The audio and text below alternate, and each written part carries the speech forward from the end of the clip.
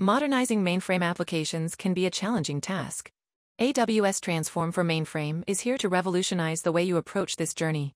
AWS Transform for Mainframe is the first agentic AI service for modernizing mainframe workloads at scale. You can automate the entire transformation process, from initial analysis and planning to code refactoring and migration. Reduce mainframe modernization timelines from years to months.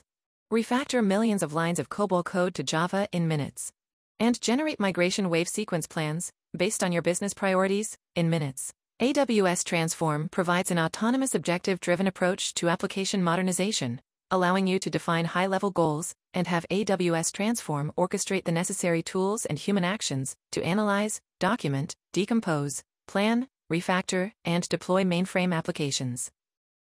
Before interacting with AWS Transform for Mainframe, you prepare your mainframe application code, including your COBOL source code, JCLs, BMS screens, and DB2 schemas in an S3 bucket. Then you begin your modernization journey with AWS Transform for Mainframe through the web interface. To get started, I have already created a workspace. You can create a new workspace by clicking Create Workspace button. You have an option to rename this workspace as well. Let's call it the Mainframe Modernization Workspace. Now let's hit the Create a Job button. I have asked AWS Transform to create a new job. It gives you option to select the kind of migration that you want to perform, like migration assessment, .NET, VMware, and mainframe modernization. Let's select mainframe modernization.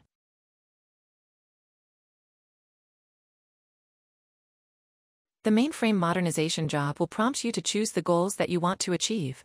It provides you with a couple of objectives that you can start with. Option 1 includes analyze code, generate technical documentation, decompose code, plan migration sequence, and transform code to Java, followed by option 2, which is for analyze code and extract business logic.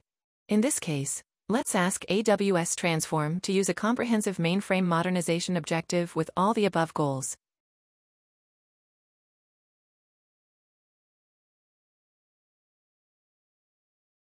AWS Transform will suggest you to review and confirm the job type, job name, and the objective. Let's change the job name to Comprehensive Mainframe Modernization.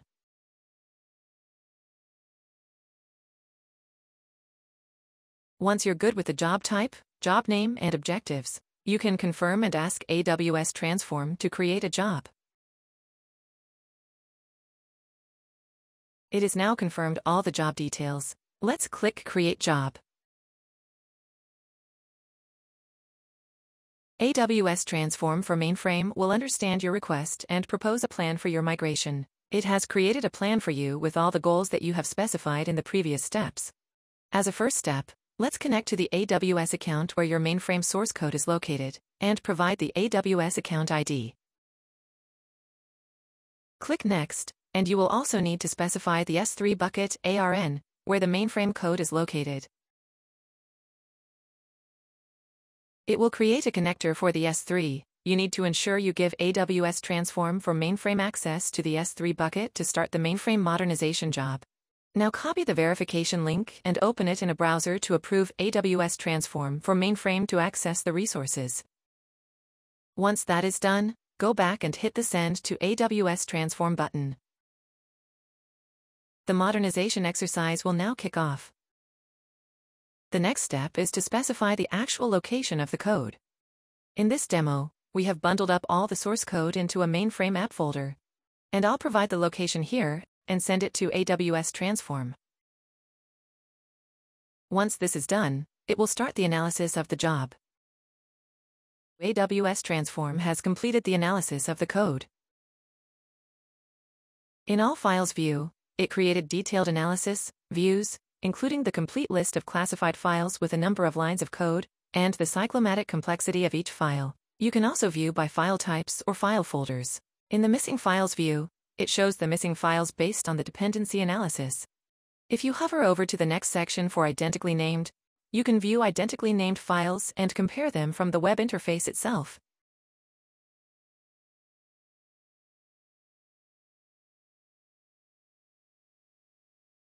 Finally, Duplicated IDs shows the COBOL files with duplicated program IDs in the identification division of the COBOL program. I'll accept these results and send it to AWS Transform. At this point, you can also come to the dashboard to see your overall dashboard. In this case, the Analyze Code section will show you how many lines of code for each type of file and what percentage of each file type is covered in this analysis. Once analysis is complete, it will automatically start the documentation generation phase. Documentation generation phase requires user inputs to continue. You will need to select the files for which you would want the documentation to be generated. As you can see, there are two levels of documentation, a summary label which gives you a high-level overview, and a detail level with comprehensive documentation. Let's select a few files here to show how documentation is generated.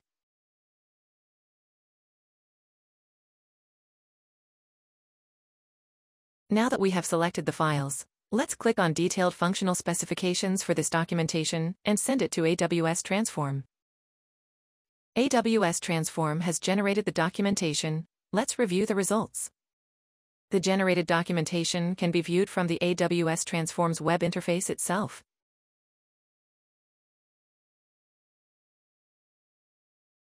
You can also download it on an XML, PDF, or both formats. The generated documentation is also stored in an output folder inside the same S3 bucket that contains your source code. Let's go to the bucket and download the generated documents. Here is the downloaded document. We have COBOL code and JCL code, which are the files I selected for documentation. Let's start with the cover page first. The cover page gives you a summary of what this application does, the files chosen for documentation, and a one-line summary. Let's review the COBOL documentation now. It provides high-level overview of this program, program logic and functionality, the data flow and data dependencies, data information, and more. At this stage, AWS Transform has also completed ingesting the documentation into Amazon Bedrock Knowledge Base. Let's open the chat window and ask some questions.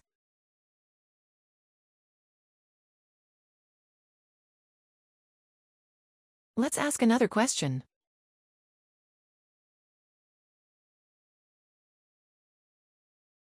The next step is to extract business logic, AWS Transform automatically analyzes your code to identify and document the critical business elements, including detailed process flows, entry point analysis, and the business rules which are embedded within your application. Let's select one program and send it to AWS Transform. Business logic is now extracted and ready for review.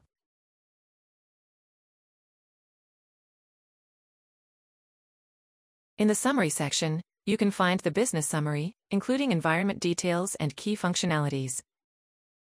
In the next section, you can see the key matrices that has been extracted from the code analysis. The flow diagram and functional rules section generates human-readable flowcharts showing the business process diagrams.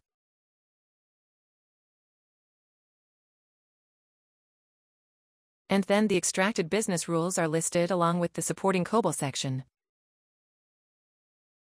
The document generation step is complete. Let's proceed with the code decomposition step. For code decomposition, AWS Transform needs user inputs to create logical domains for your project.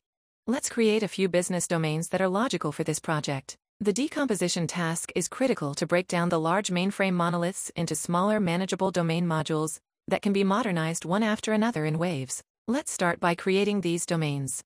Click Action and Create Domain. Let me create an account domain.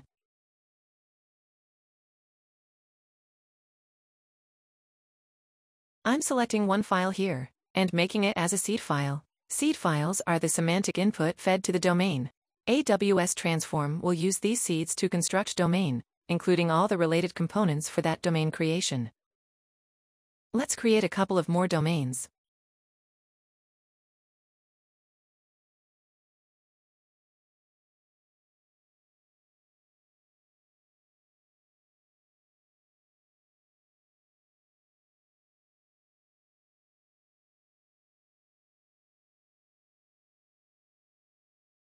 You can configure your domains in the Configure Decomposition section. Let's accept the configuration that has been provided by AWS Transform. And hit the Decompose button. The decomposition step is now complete. Let's review the results. AWS Transform has decomposed the application. You can view the number of lines of code and files associated with each of these domains. In the dependency view, you can also view the graph of how the dependencies are mapped.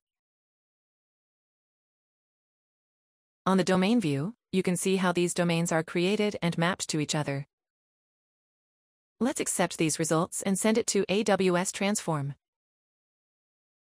The next step is to plan migration waves.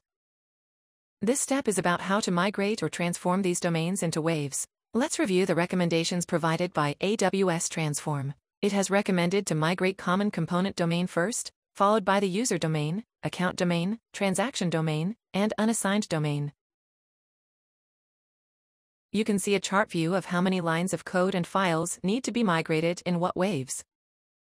We have option to change this recommendation as needed. You can add preferences and change the numbers or the sequence in which you want to modernize this application.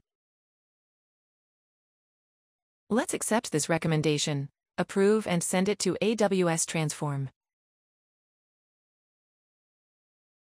The next step is refactoring. We need to select the domains that we want to refactor. In this exercise, let's select all the domains. Here you can update configurations such as refactor engine version, project name, root package, target database, etc. Let's accept the options provided by AWS Transform and send it to for refactoring. The code refactoring process is now complete. Let's view the results. The legacy code is now refactored to Java and its latest frameworks. We can view the successful status of the transformation here. Let's review the complete results. Click on the link to download the code. The downloaded code is now open in an integrated development environment. AWS Transform has decomposed the application into multiple domains. Let's dive into the account domain. The POM file contains all the dependencies. Moving on to the entity project, it contains the business model and the context elements, typically for a given legacy COBOL program. This corresponds to the modernization of I.O. section and the data division. The service project contains the modernized business logic, typically the procedure division of a COBOL program.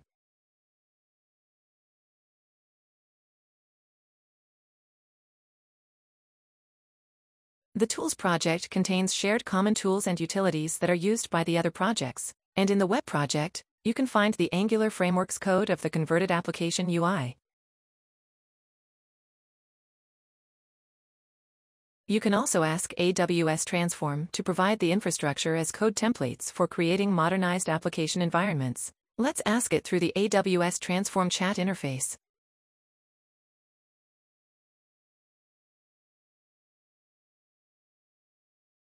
You can download the templates based on your preference from here. Now that you have completed the transformation, you can perform an optional step called Reforge. Reforge is a new feature added in May 2025 that improves the readability of your transformed code by using large language models. First, we completely restructured the code architecture to create a more intuitive flow. This makes it significantly easier for developers to navigate and understand the system's logic. We then focused on implementing proper Java idioms throughout the codebase. This ensures our code feels natural and follows established best practices that Java developers expect. One of our key achievements was enhancing the overall readability of the code. Through careful refactoring, we've made the code much clearer and more self-documenting. With long-term maintenance in mind, we optimized the output quality. This means future teams will spend less time deciphering and more time building. Finally, we added comprehensive comments throughout the code. These aren't just basic annotations, they're detailed, human-readable explanations that help developers understand not just what the code does, but why it does it. Let's begin. We'll start by asking Amazon Q to create a new job. AWS Transform provides some options for jobs that can be completed. In this case, we will choose mainframe and an objective of reforge the code.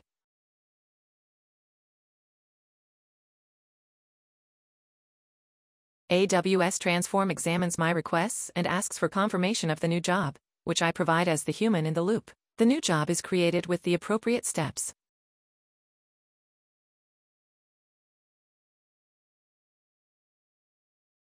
Each Reforged job needs a buildable project that has been refactored using AWS Transform available in an S3 bucket. In addition, an input Java class list is provided which specifies which service classes you would like to reforge. Enter the S3 bucket containing the buildable project that has been refactored and stored as a zip file. For the list of classes, provide the classes list to be reforged. As an example, my text file contains the class com.aws.carddemo.kbacked 01c.service.mpla.mpl.gpacked 01c process empl. Select Continue for AWS Transform to submit the request. AWS Transform has accepted my request. I'm going to pause briefly as this may take a few minutes. The work log can be checked to determine progress. Once completed, you can find the results in the S3 bucket to be downloaded. Using the link provided, you will find the S3 bucket containing your reforged code. In addition, there will be status files and log files provided.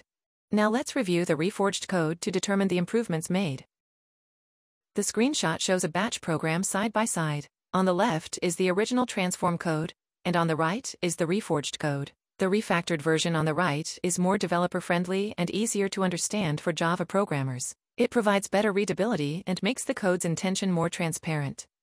Scores have been improved, the code structure and organization, the code readability and comprehension scores have gone up, the technical quality has gone up, and overall, it is more sustainable and maintainable. I hope you enjoyed this demo on AWS Transform for Mainframe, an agentic AI service for modernizing mainframe workloads at scale. Thank you.